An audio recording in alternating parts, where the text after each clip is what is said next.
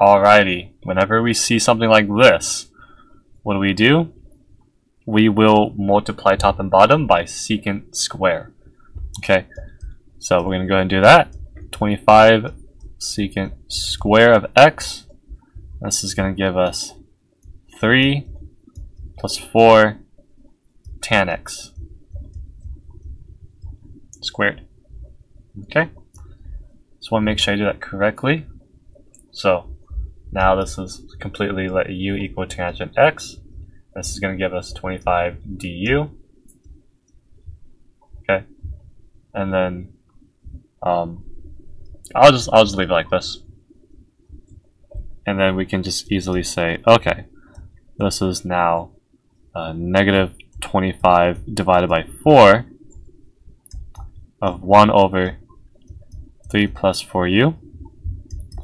So what we have here is we have 25, 4, and then 3 plus 4 tangent of x plus c.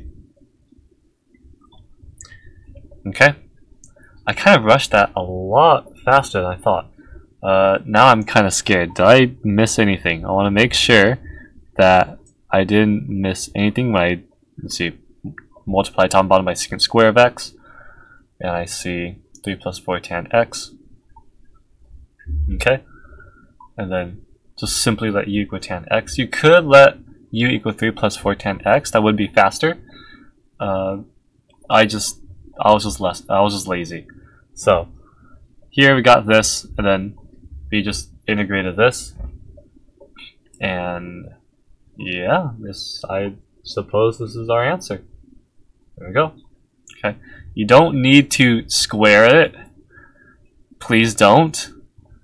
And you're good to go. You'll just solve this in a matter of seconds.